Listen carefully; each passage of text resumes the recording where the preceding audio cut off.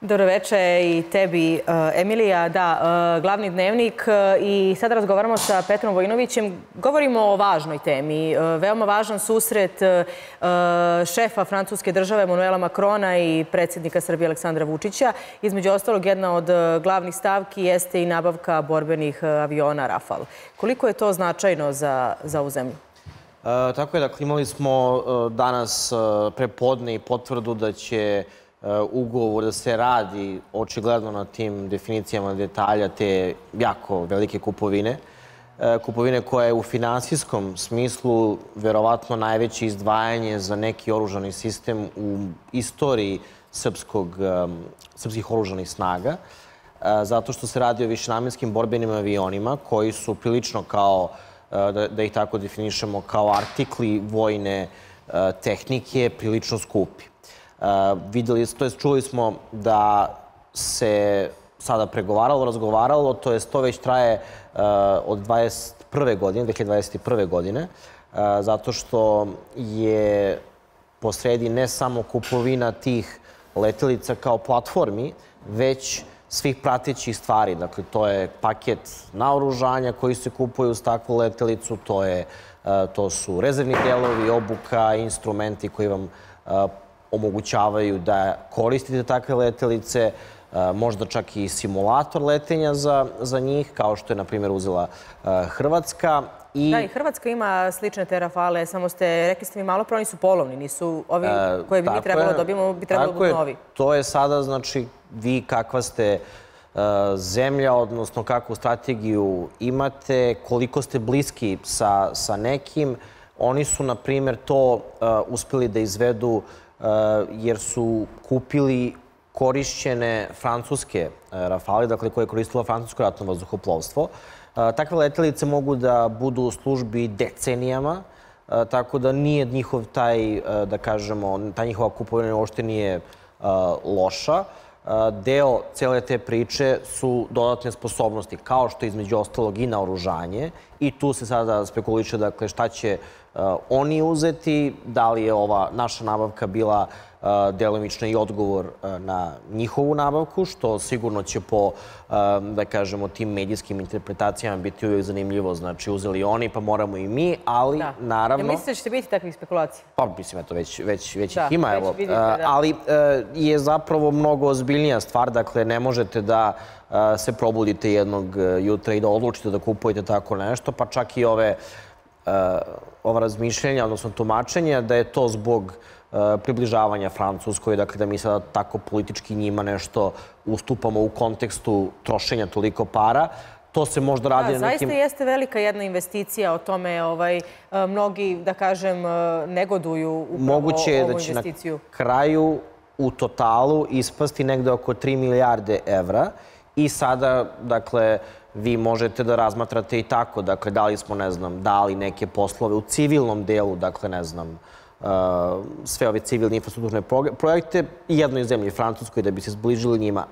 To možda da, ali uh, kada je u pitanju vojna tehnika, vi ne možete da vi izaberete sad ćemo kupiti to da bi im se uh, dodvorili, jer prvo bi to trebalo vaše ratno vazduhoplovstvo, kao što je u slučaju Srbije, dakle da ono to traži, da se to već, da ta priča traje već godinama uh, i da je sada očigledno došlo uh, to na dnevni red. Dakle, nije toliko, da kažemo, uh, stvar koja je odjednom izmišljena, ne bi li se politički, ne znam, uklopila u nešto drugo. To i dalje jeste velika delom i politička odluka, kao i sve, sve kupovine velikih oružanih sistema, dakle, od koje god zemlje da kupite, uvek je tu razmatranje odnosa sa tom zemljom, kupovanje u savezništvo te zemlje. Mi, nažalost, eto, uh, smo okruženi jednim uh, savezom, dakle, onda tu postoje razne, razno razne i te uh, ta razmatranja, ali ovde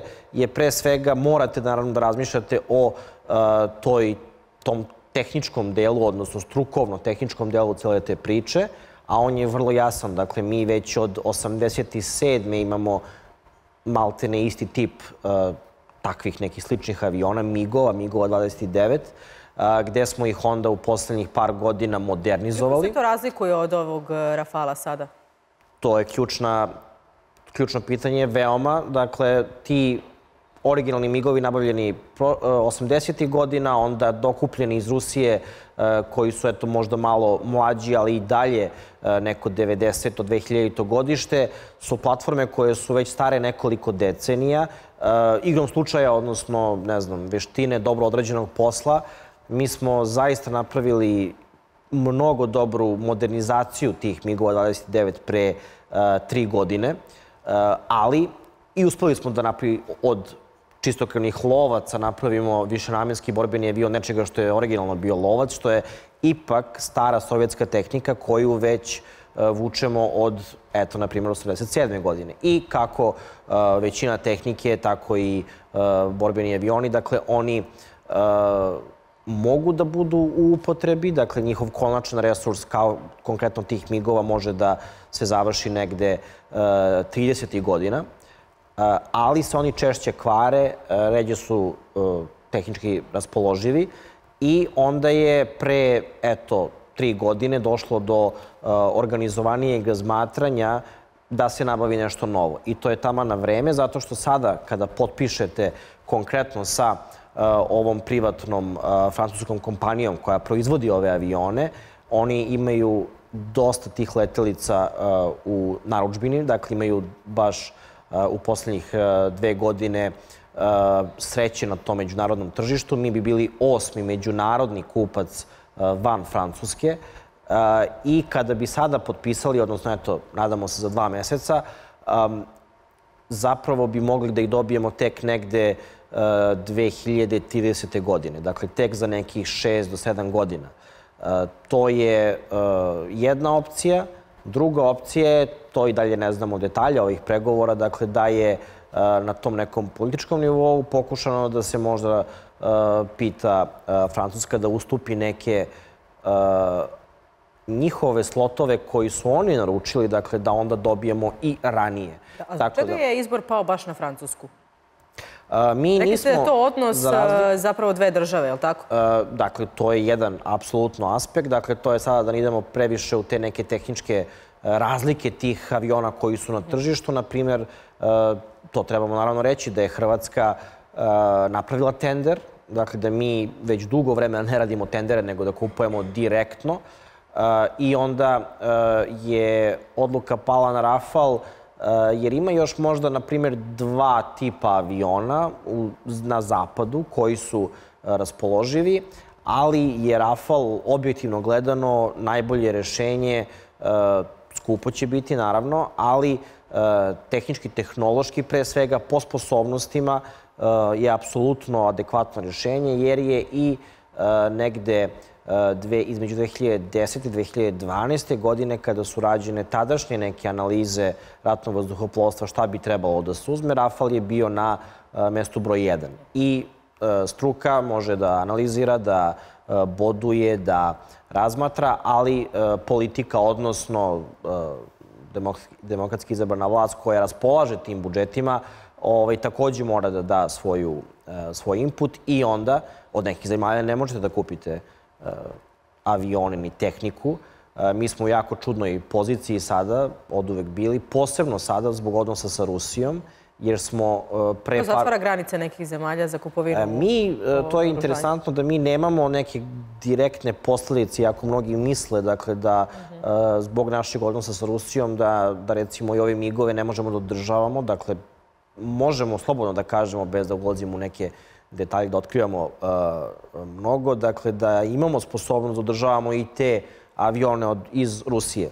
Ali problem je opet što su oni previše stari, dakle mi jesmo radili tu modernizaciju, jesmo rešili to na prilično dobar način, um, ali uh, vi ne možete, zbog čega Rafal, zbog čega uopšte uh, višenamenski borbeni avion, zbog čega uopšte trošite tolike pare kada... E, to je ključno pitanje, ne znam, neko nema šta da jede, neko Zašto je to toliko skupo? Uh, zato što je to jednostavno prvo e, kvalitativno gledano, dakle, takva vrsta tehnike, znači skupo je, mnogo je dobro. Drugo, vi ne možete da imate oružane snage, da nemate borbene avione i da nemate više namenske borbene avione u 21. veku. Dakle, sve ove neke fantazije koje slušamo, dronovi, rakete, to sve može na dugme. To je malo mnogo pojednostavljeno zbog, zbog menjinske konzumacije. Dakle, ništa i dalje, ni dan danas nije zamenilo uh, borbeni avion koji je brz, koji može da ponese dosta uh, naoružanja, koji može da ponese precizno naoružanja, koji ima svoje neke uh, sisteme za elektronsko ratovanje, svoje neke radare i čoveka unutra.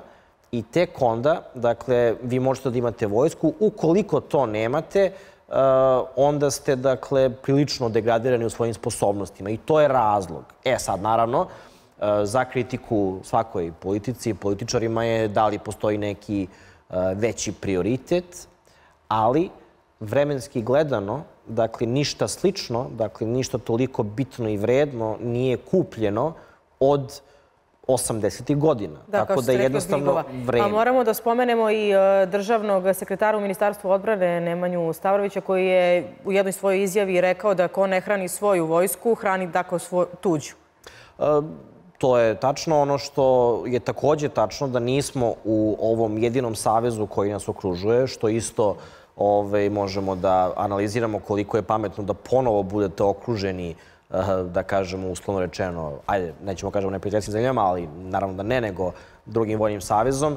I onda zbog toga i morate da trošite e, novac na, na, na vojsku. Tako da tu e, zapravo ne postoji e, da kažemo, mogućnost da toga izvučete. Naravno da će kritike neke analize izbora, dakle, da li je moglo nešto jeftinije, bolje ili lošije, to je već, da kažemo, dublja stručna priča. Da, opozicija će jedva dočekati to i sve ove mediji pod kontrolom Albina Kurtija su već i pisali o tome da je to uh, velika i skupa igračka, da to ne vredi ovaj, ulagati. Ali spomenuli ste malo pre uh, čoveka unutar Rafala koji bi upravljao tim bombarderima, avionima. Recite mi koliko je važna ta obuka za upravo te ljude koji su tu i da li je to neka specijalna obuka koju moramo da prođemo sa francuske strane ili je to možemo i, i u našoj zemlji? Mm, da, evo to smo sad imali prilike da baš gledamo uh, u Hrvatskoj. Oni to sada upravo uh, rade i uh, naravno dakle bez čoveka ne može. Kada su u pitanju letelice sa ljudskom posadom, ništa komplikovano. Dakle, i Hrvati i mi ćemo, i oni su takođe prešli sa migova na, uh, dakle, maltene dve generacije uh, iznad u ovom avionu. Tako ćemo i mi, apsolutno ništa uh, nesavladivo, dakle, to su već profesionalci koji lete prilično ovaj, kompleksne avione kao što su i ovi migovi već sada se vežbaju naše, naše ratno vazduhoplovstvo, sada već vežba da koristi migove koji su nekada bili lovci, da ih koristi u konceptu upotrebe više namenskih borbenih aviona, što znači da možete u jednom letu teoretski da laičke pojednostavimo, jurite druge avione po nebu i da u istoj misiji gađate nešto na zemlji. I ov, kada dođu Rafali, to će biti naravno dramatičan skok u tehnologiji, dramatičan skok u e, konceptima održavanja, bit će jednostavnije, bit će digitalizovano, bit će... Je li održavanje skupo? E, to je sve, da kažemo, opet, bez uloženja u detalje. Dakle, u, u ovoj ceni, dakle, tih 3 milijarde se naravno, ukoliko to bude cena, ne uh, vade odmah i da odmah platiš pa možda ih nosiš, nego naravno dele se na godišnje rate kao što je to Hrvatska uradila. To je uvek van vojnog budžeta, jer nijedan vojni budžet nijedne zemlje ove veličine ne bi mogo da to izdrži. Dakle, to je nacionalni budžet i podeli se dakle, u rate i to uključuje i preobuke, dodatne obuke. Sad tu smo i malo u problemu, budući da opet nismo u NATO-u, što je da, kvalitativno... To, što je kvali, problem? Politički, volili mi, ne volili NATO, to je jedna stvar, ali strukovno, to je najsposobnija, naj, najsposobnija organizacija za, vežbe, za, za vežbanje rata. Dakle, oni kada, kada neko zarati sa NATO-om, ne zato što su oni sada brojčano uh, udružili, zato što imaju para, nego što stalno vežbaju, zato što su svi interoperabilni i mi smo interoperabilni, sa njima jako nismo u NATO-u i uh, Hrvatska će tu imati malo veću prednost od nas, jer će možda odmah moći da vežba jedan jako bitan deo, to je borbena upotreba. Dakle, da pilot nauči sa MIGA da leti Rafal ili bilo šta, prilično jednostavno. ali da vežba način borbene upotrebe pre svega, da koristi sve te senzore, da koristi sve to naoružanje, da koristi neke poligone, na primjer, možda u Francusku nekim drugim zemljama. Kako izgledaju te vežbe? Dakle, baš konkretno vežbe borbene upotrebe je dakle da, naravno, vi možete da vežbate na dva načina. Dakle, možete vežbati letenje aviona, njegove performanse, korišćenje sistema u simulatoru, što ćemo opet najverovatnije da mi takođe nabavimo. To je, dakle, odsečen maltene nos aviona, stavljen u ovako neki studio sa skoro 180 stepeni grafikom koja verno prikazuje i tu donekle održavate svoju trenažu i obučavate se. Ali da u praksi tako prilično sposobnu mašinu, dakle koja može u uslovima potpune, ne znam, smanjene ili nepostojeći vidljivosti, na daljinama van vizualnog dometa, da nešto nacilja, da nešto prvo vidi gde je, da ga nacilja, da lansira prema njemu rakete vazduh, vazduh, vazduh, zemlja, to treba vežbati i to je uvek bolje sa zemljama koje to već koriste na tim nekim poligonima koji onda simuliraju, dakle imaju određeni, ne znam, neki deo površine gde imaju, na primjer, neke emitere, na primjer, simuliraju radare, simuliraju da neko puca na vas i, dakle, baš vas stavljaju te ratne scenarije.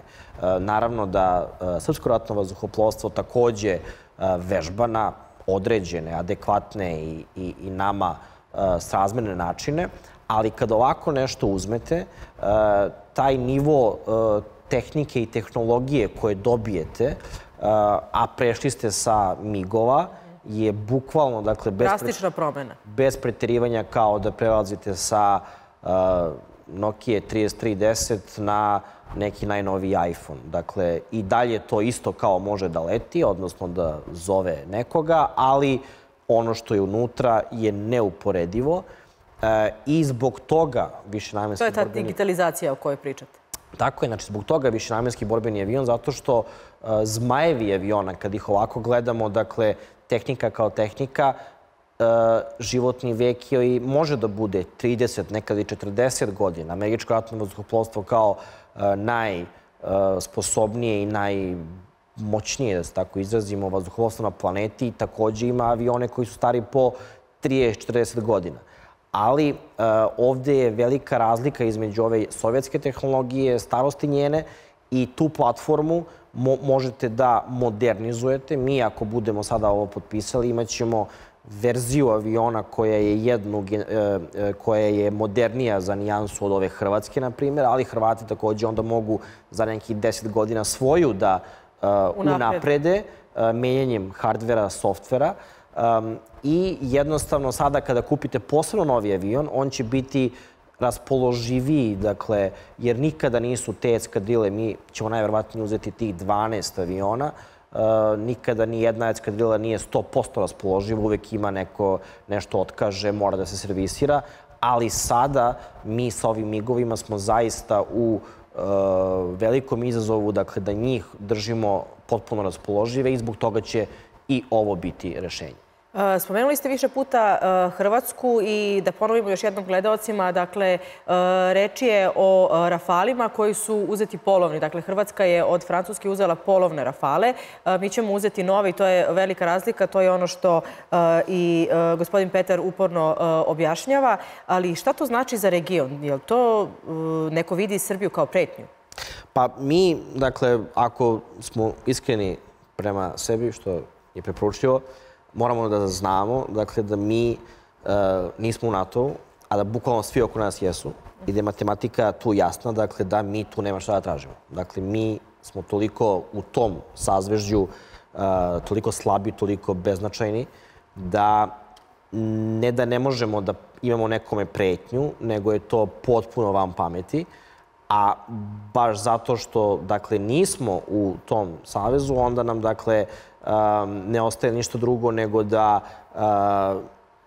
termin naoružavati se je malo i, i neadekvatan, već da makar imamo sve na adekvatnim količinama, odnosno namenama, kao što je recimo i protivazduhoplovna odbrana i ratno vazduhoplovstvo, a naoružavanje uvek ima, implicira značenje termina, dakle, nešto, agresiv, nešto što je agresivno, nešto što je kompetitivno. Mi smo imali ratove 90-ih, iako smo mi sve pokupili iz ovih bivših Jugoslavija kad da. smo se povlačili, da smo nasledili Jugoslaviju, opet je to stara tehnika i ništa nije kupovano 20 godina. Dakle, tek je počelo prilično da se kupuje nove, novog hardvera u celom, celoj vojsci, a posebno ratnom vazduhoplovstvu, negde od 2016. godine.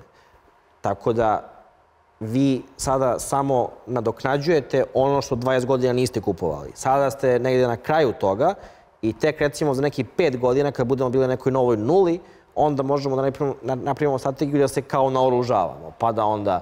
Ali ništa da, to obnavljamo. ne vredi jer smo okruženi na tom, tako da je to... Da. E, rekli ste malo pre da u odnosu na sovjetske e, recimo, sovjetsko naoružanje, da je ovo mnogo naprednije. Tu mislite i na Rusiju, jer znamo da Rusija je sada centar tog modernog naoružanja, poprilično poslednjih godina je mnogo drugačija situacija. Rusija ovaj, kao naslednica sovjetske tehnike dakle, je podjednako sposobna da projektuje, da napravi skoro isto, nekada isto, nekada bolje ono što može Zapad ali je prokleta tim, eto, određenim svojim problemima, gde nije mogla da e, tu industrijsku proizvodnju dovede do tog nivoa da bude podjednak uspešna kao Zapad. Pa naravno i politika i utica i sve ostalo. Oni jesu izvozili svojih višenamenskih borbenih aviona u dosta zemalja. E, to ruski avioni, e, pre svega tipa Suhoj, su prilično sposobni, prilično uh, su bili tada, dakle pre rata ako govorimo, moderni, odnosno opcija na tržištu.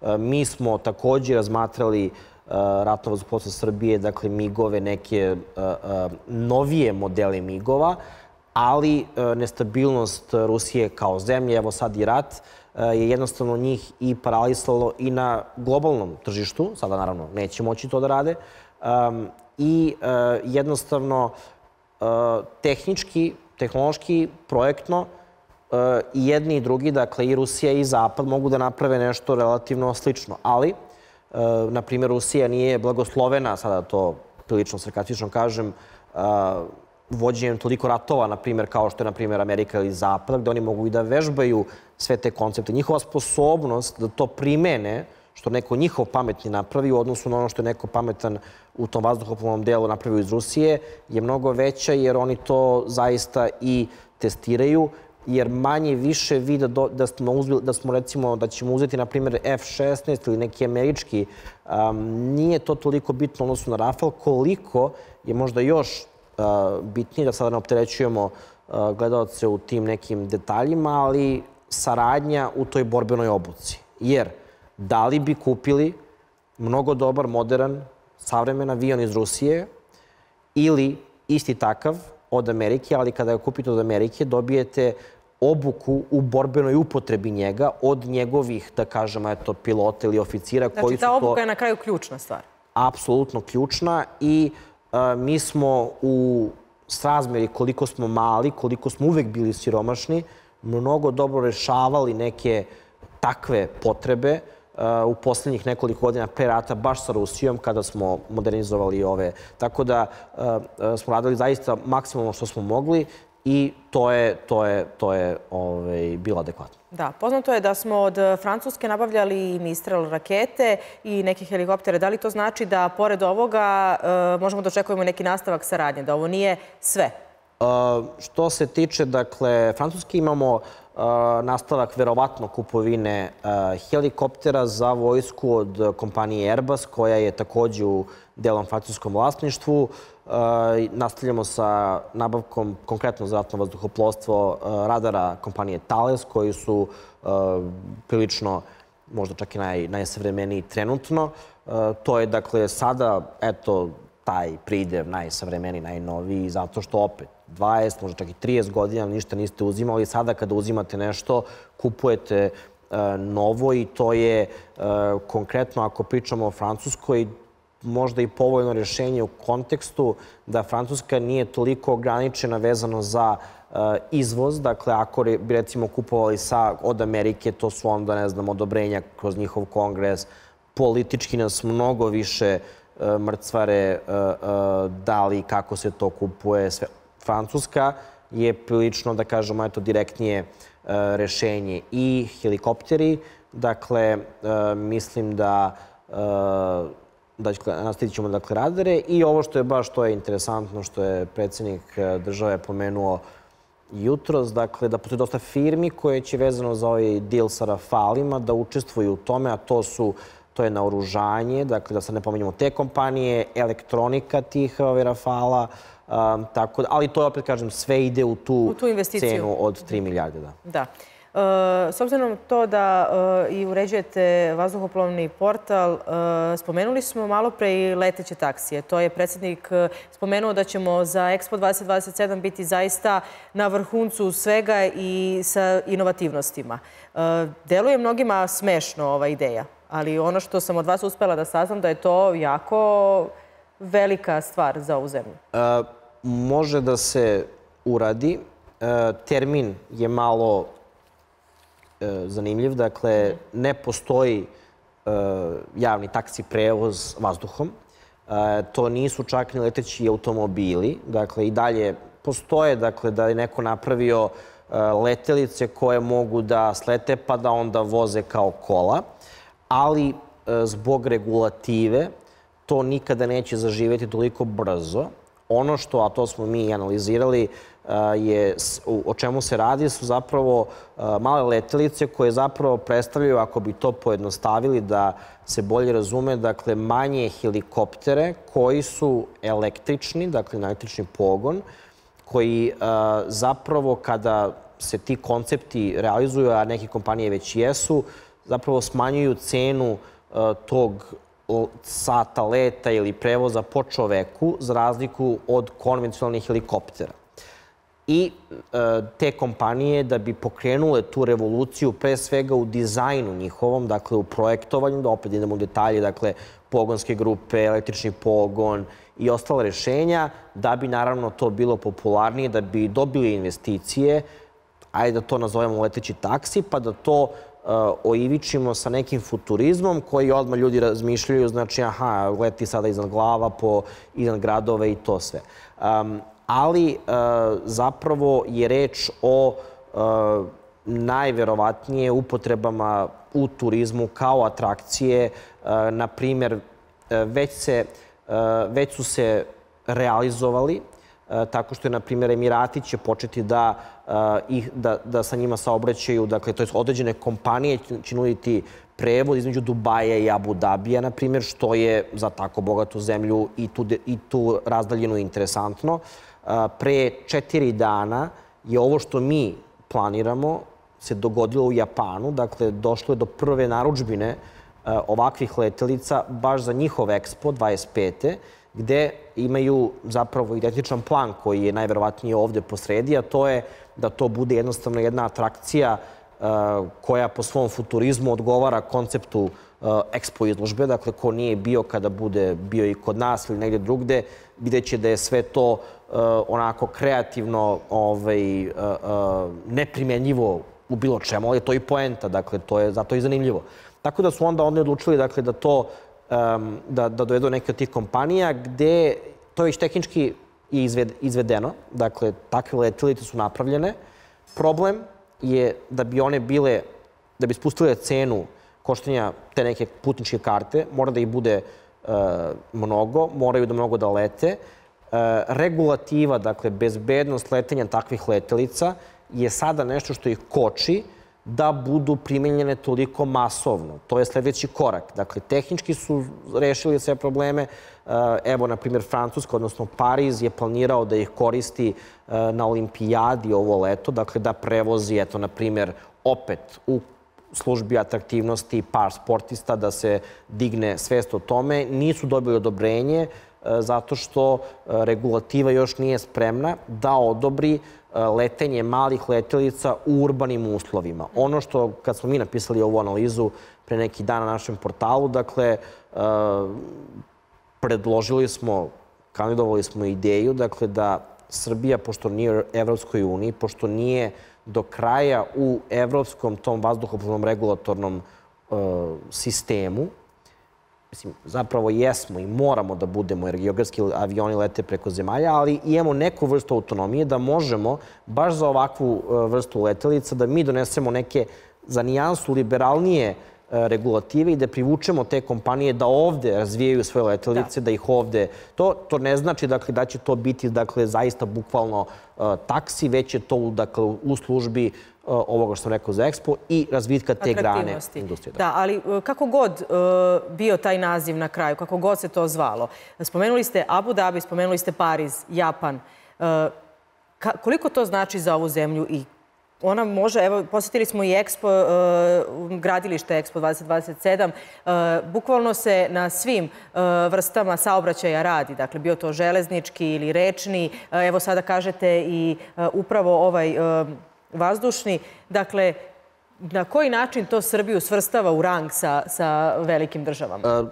Neću ući sad u neku filozofiju karakterizacije toga, već ću biti mnogo praktičniji. Dakle, kada napravite tako nešto, nažalost, zbog medija, koji čak i kada se Expo bude otvorio, treći dan će ostati bez sadržaja.